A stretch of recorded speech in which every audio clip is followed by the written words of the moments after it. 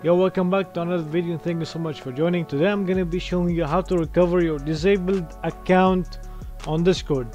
So let's say uh, you wanna log in, right? I'm gonna put the, the email or I'm gonna put the account that is disabled right now. Tram14 at outlook.com and I'm gonna put the password right now. Now, if I wanna um, if I want to log in it says your account has been disabled.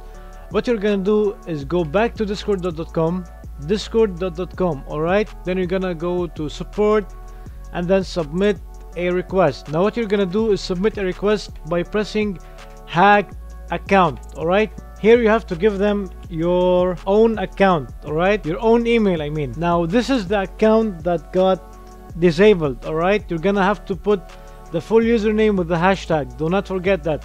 Now put the email address alright suspicion of how you believe the account was compromised uh let's say i clicked on a link all right now here you're gonna do did you receive an email discord? Account nope. Now you're gonna do no. Are you able to log in? Do no as well. Also no subject uh my discord my account was disabled. Suggested articles nope. I'm gonna i'm gonna put i cannot log into my account in any possible way. Now you don't need to fill in the blank all right just leave it like that and then do submit. Your request was successfully submitted Alright, now all you have to do is wait for them to send you an email. And that's how you recover your account. Before I log off, I want you to join my Discord server. It's in the description. We do Dank Memer giveaways and we do Nitro giveaways. That was it for this video and see you in the next one. Peace out, homeboys.